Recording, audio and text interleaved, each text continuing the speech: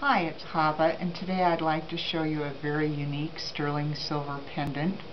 This sterling silver pendant is half an inch wide and 5 8 inch long. It features in the corner a Star of David centered with a tiny diamond.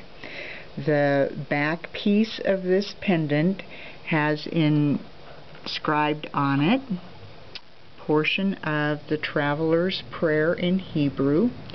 It also comes with a gold card. It's a, a, metal card which is suitable for putting in your wallet and it has the Traveler's Prayer on it.